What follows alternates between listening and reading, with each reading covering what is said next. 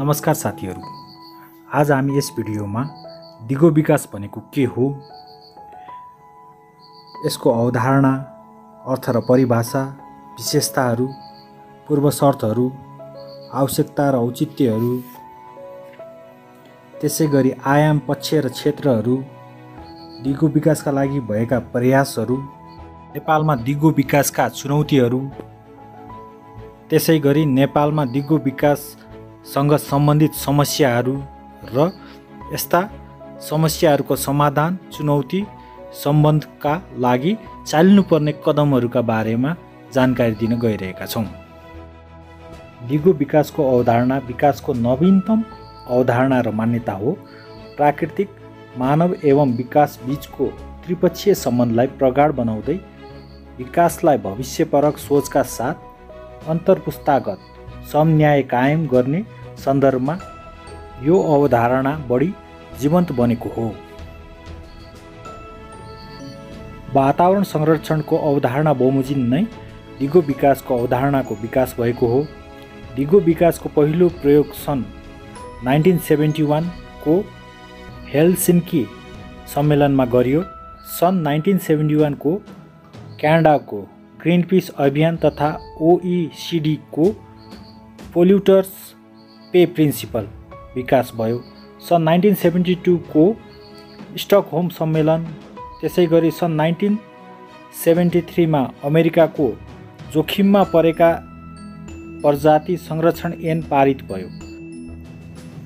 सन् nineteen seventy फाइभको साइटिक अभिसन्धि सन् नाइन्टिन सेभेन्टी सेभेनको केनियाको ग्रिन बेल्ट मुभमेन्ट सन् नाइन्टिन एट्टीमा दिगो विकास सम्बन्धी अन्तर्राष्ट्रिय संस्था आइआइएसडीको स्थापना वातावरण र विकासबीच तालमेल गर्ने हेतुले सन् नाइन्टिन एटी थ्रीमा नर्वेका तत्कालीन प्रधानमन्त्री ग्रोहालेम बुटल्यान्डको अध्यक्षतामा आयोग गठन भयो। उक्त आयोगको प्रतिवेदन आवर कमन फ्युचर नामकबाट सन् नाइन्टिन एट्टी सेभेनमा पेस गरियो। यसले दिगो विकासको मूलभूत तिन विषयमा वातावरण संरक्षण आर्थिक वृद्धि र सामाजिक समता भनी चर्चा गरिएको थियो। उक्त प्रतिवेदनको अवधारणालाई सन् नाइन्टिन नाइन्टी टूमा रियो द जनरियो सम्मेलनबाट एजेन्डा एक्काइस मार्फत सम्बोधन गरियो। सन् नाइन्टिन नाइन्टी थ्रीमा संयुक्त राष्ट्र सङ्घीय दिगो विकास आयोग गठन भयो विभिन्न बैठक र सम्मेलनहरूको आयोजना पनि गरियो। सहशताब्दी विकास लक्ष्य जलवायु परिवर्तन सम्बन्धी विभिन्न सम्मेलनहरूबाट यस मान्यतालाई घनीभूत हुँदै अगाडि बढाइयो। हाल दिगो विकासको लक्ष्य एसडिजिएसबाट यो अनुप्राणित भएको छ। प्रारम्भमा यो वातावरण संरक्षणसँग मात्र आबद्ध भए पनि पछिल्लो समयमा राजनीतिक आर्थिक सामाजिक नैतिक मानवीय र सांस्कृतिक पक्षमा पनि यसका आयाममा समाहित गरिन्छ।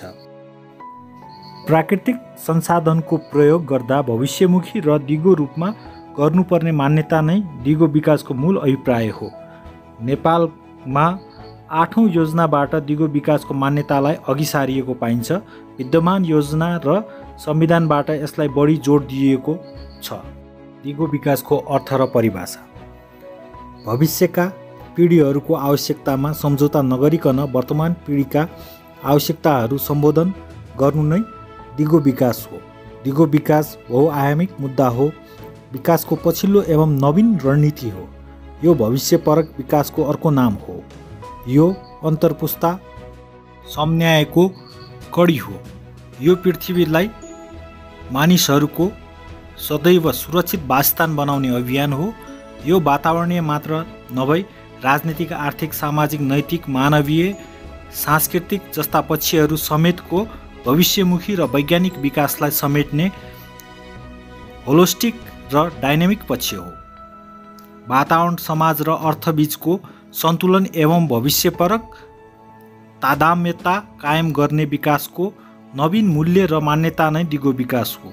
यो धान्न सकिने र टिकाउपूर्ण विकास हो। वातावरण मैत्री विकास भविष्यमुखी विकास मानव केन्द्रित विकास वैज्ञानिक विकास तथा आधुनिक विकास समेतको रूपका रूपमा यसलाई बुझ्न सकिन्छ। नेपालको संविधान मार्फत नै दिगो शान्ति सुशासन विकास र समृद्धिको आकाङ्क्षा पुरा गर्ने प्रतिबद्धता जाहेर गर्दै कानुनी नैतिकगत संस्थागत र कार्यगत माध्यमहरूबाट यसको विकासलाई अघि बढाइएको छ। दिगो विकासका विशेषताहरूमा भविष्यमुखी विकास प्रक्रिया हो अन्तर्पुस्ता समन्यायको सशक्त औजार हो विकासको आधुनिक र नवचिन्तन हो पृथ्वीलाई सदैव एवं सुरक्षित मानव वासस्थान बनाउने महान अभियान हो। दिगो विकास आवश्यकता र बाध्यता दुवै हो। विकासको विश्वव्यापी साझा मुद्दा हो। वातावरण मैत्री विकासको मान्यता हो। बहुआयामिक र बहु सरोकारित विषय हो। विकासको सबैभन्दा पछिल्लो रणनीति हो।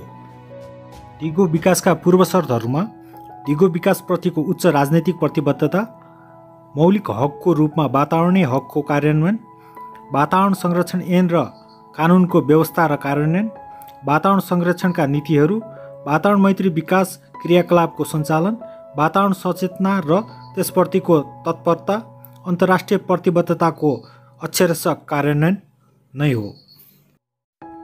दिगो विकासको आवश्यकता र औचित्यमा भविष्यमुखी विकास प्रक्रियाको सञ्चालन र व्यवस्थापन गर्न साधन स्रोतको विकासपूर्ण परिचालन गर्न धान्न सकिने टिकाउपूर्ण विकासलाई आत्मसात गर्न प्राकृतिक साधन र स्रोतको वातावरण मैत्री उपयोग गर्न अन्तर्पुस्ता समन्याय सुनिश्चित गर्न प्राकृतिक र पृथ्वीसँगको अन्तर्सम्बन्ध कायम गर्न वर्तमान र भविष्यको आवश्यकता र साधनको उपयोग बिच सन्तुलन बनाउन प्राकृतिक वातावरण र परिस्थितीय पद्धतिको सन्तुलन कायम गर्न सन्तुलित र समावेशी विकास सुनिश्चित गर्न मानवीय विकास दिगो र भरपर्दो बनाउन अन्तर्राष्ट्रिय साझा प्रतिबद्धता मार्फत पृथ्वी हाम्रो साझा घर हो को सिद्धान्तलाई व्यावहारिक बनाउन शान्तिपूर्ण न्यायपूर्ण समावेशी र सशक्त समाजको निर्माण गर्न नै हो। दिगो विकासका आयाम पक्ष र क्षेत्रहरूमा राजनीतिक आयाम जन उत्तरदायी सरकार जनमुखी शासन र प्रशासन मानव अधिकारको प्रत्याभूति कानुनको शासन विकेन्द्रीकृत शासन प्रणाली आर्थिक आयाम उच्च फराकिलो र समावेशी आर्थिक वृद्धि र विकास स्वतन्त्र आत्मनिर्भर र उन्नतिशील अर्थको अर्थतन्त्रको निर्माण स्थिर अर्थतन्त्र र आर्थिक स्थायित्व सामाजिक आयाम सामाजिक न्याय मैत्री स्रोत साधनको वितरण लैङ्गिक समानता र सशक्तिकरण समावेशी र समानतामूलक समाज निर्माण जनसङ्ख्या व्यवस्थापन र सांस्कृतिक सहिष्णुता र सद्भावको संरक्षण र सम्वर्धन वातावरणीय आयाम। प्राकृतिक साधन र स्रोतको दिगो र कुशल व्यवस्थापन वातावरण संरक्षण वातावरण शिक्षा र सचेतना वातावरण संरक्षणका नीति कार्यक्रम र कानुन मानव र प्रकृति बिचको अन्तर्सम्बन्ध विकासको आयाम। वातावरण मैत्री विकासको पूर्वाधार निर्माण गरिबी निवारणमुखी विकास लैङ्गिक उत्तरदायी विकास समावेशी विकास र सन्तुलन विकास भविष्यदर्शी विकास। आदि रहेका छन्। दिगो विकासका लागि भएका प्रयासहरूमा अन्तर्राष्ट्रिय प्रयास। सन् नाइन्टिन नाइन्टी वानको हलेन्स्की सम्मेलन सन् नाइन्टिन एटी थ्रीको बर्टल्यान्ड कमिसन र सन् नाइन्टिन एटी सेभेनको हाम्रो साझा भविष्य नामक प्रतिवेदन। सन् नाइन्टिन नाइन्टी टूको रियो द जनरियो सम्मेलन एजेन्डा एक्काइस। सन् नाइन्टिन नाइन्टी थ्रीको संयुक्त राष्ट्र सङ्घीय दिगो विकास आयोग गठन। सहज शताब्दी विकास लक्ष्य दुई हजारदेखि दुई हजार पन्ध्र मार्फत वातावरणीय दिगोपनमा जोड सन् दुई हजार दुईको वातावरणीय जोहान्सबर्ग सम्मेलन सन् दुई हजार सातको जलवायु परिवर्तन सम्बन्धी वाली सम्मेलन सन् दुई हजारको जलवायु परिवर्तन सम्बन्ध कोपन हेगनको कोप पन्ध्र सम्मेलन सन् दुई हजार सोह्रदेखि सन् दुई हजार तिससम्ममा दिगो विकासका लक्ष्यहरू भने राष्ट्रिय प्रयासमा यी माथि भनेका प्रयासहरूलाई नेपालमा भएका व्यवस्था प्रावधानका रूपमा समेत उपयोग गर्न सकिन्छ। दिगो विकासका लक्ष्यहरूमा सन् दुई हजार सोह्रदेखि दुई हजार तिससम्मका लागि विश्व विकासको साझा कार्यसूचीको रूपमा संयुक्त राष्ट्र सङ्घीय महासभाबाट पच्चिस सेप्टेम्बर दुई हजार पन्ध्रमा अनुमोदित विकासको पछिल्लो एजेन्डा नै दिगो विकासको लक्ष्य हो। यो सहशताब्दी विकास लक्ष्यपछिको दोस्रो विश्व विकासको साझेदारी हो। यसका सत्रवटा लक्ष्य र एक सय उनासत्तरवटा मापन योग्य सूचकहरू रहेका छन्। लक्ष्य एक सबै स्थानको सबै किसिमका गरिबीको अन्त्य गर्ने। लक्ष्य दुई भोकमरीको अन्त्य खाद्य सुरक्षा हासिल पोषणमा सुधार र दिगो कृषि विकास गर्ने। लक्ष्य तिन स्वास्थ्य जीवनको सुनिश्चित गर्ने र सबै उमेरका सबैलाई तन्दुरुस्त राख्ने। लक्ष्य चार समावेशी र समानतामूलक गुणस्तरीय युक्त शिक्षाको सुनिश्चित गर्ने एवं आजीवन सिक्ने भावनाको विकास गर्ने। लक्ष्य पाँच लैङ्गिक समानता सुनिश्चित गर्दै सबै महिला तथा बालबालिकाको सशक्तिकरण गर्ने। लक्ष्य छ सबैका लागि खानेपानी र सरसफाइको उपलब्धता र दिगो व्यवस्थापन सुनिश्चित गर्ने। लक्ष्य सात सबैका लागि धान्न सक्ने भरपर्दो दिगो र आधुनिक ऊर्जामा पहुँच सुनिश्चित गर्ने। लक्ष्य आठ। जीवन्त समावेशी र दिगो आर्थिक वृद्धि पूर्ण र उत्पादनशील रोजगारी र सबैका लागि मर्यादायुक्त श्रमको प्रवर्धन गर्ने। लक्ष्य नौ।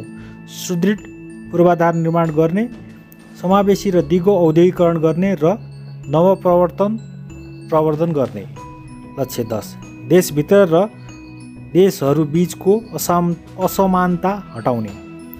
लक्ष्य एघार। सहर र मानवीय बस्तीहरूलाई समावेशी सुरक्षित सुदृढ र दिगो बनाउने। लक्ष्य बाह्र। दिगो उपयोग र उत्पादन प्रवृत्ति सुनिश्चित गर्ने। लक्ष्य तेह्र। जलवायु परिवर्तन र यसका लागि असर विरुद्ध तत्काल कार्य गर्ने। लक्ष्य चौध। सागर समुद्र तथा समुद्रिक स्रोतहरूको संरक्षण र दिगो उपयोग गर्ने। लक्ष्य पन्ध्र। वनको दिगो व्यवस्थापन मर्वीकरण भूक्षय नियन्त्रण तथा जैविक विविधता नोक्सान हुन नदिने। लक्ष्य सोह्र। शान्तिपूर्ण न्यायपूर्ण र समावेशी समाजको अभिवृद्धि गर्ने। लक्ष्य सत्र। दिगो विकासका लागि विश्वव्यापी समझदारीलाई जीवन्त बनाउने आदि रहेका छन्।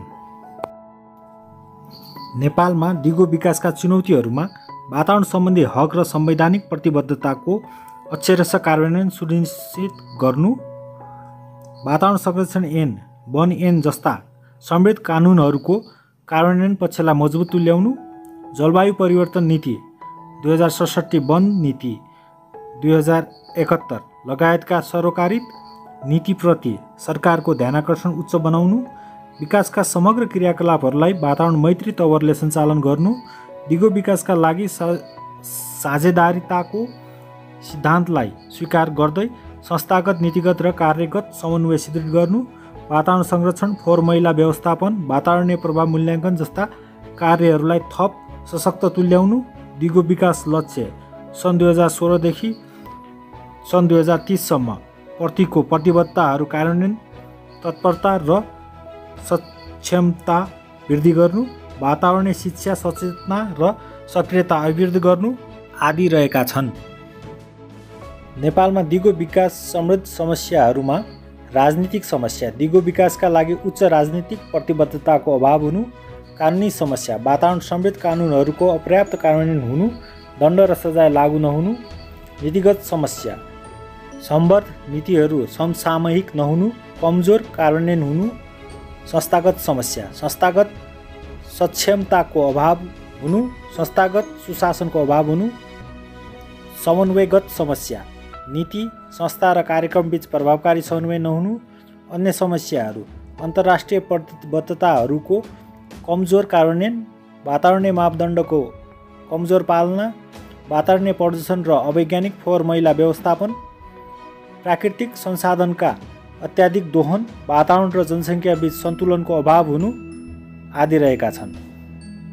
नेपालमा दिगो विकास समृद्ध समस्याहरूको समाधान चुनौती सम्बन्धका लागि चालिनुपर्ने कदमहरूमा राजनीतिक सुधार दिगो विकासका लागि उच्च राजनीतिक प्रतिबद्धताको विकास गर्ने कानुनी समस्या सरोकारित कानुनहरूको दरिलो कार्यान्वयन गर्ने दण्ड र सजायको व्यवस्थालाई अनिवार्य बनाउने नीतिगत समस्या समसामयिक नीतिको विकास गर्ने र नीतिगत प्रतिबद्धताहरूको दृढ कार्यान्वयन गर्ने संस्थागत समस्या संस्थागत सक्षमता अभिवृद्धि गर्ने तथा संस्थागत सुशासन कायम गर्ने समन्वयगत समस्या नीति संस्था र कार्यक्रमबीच प्रभावकारी समन्वय कायम गर्ने।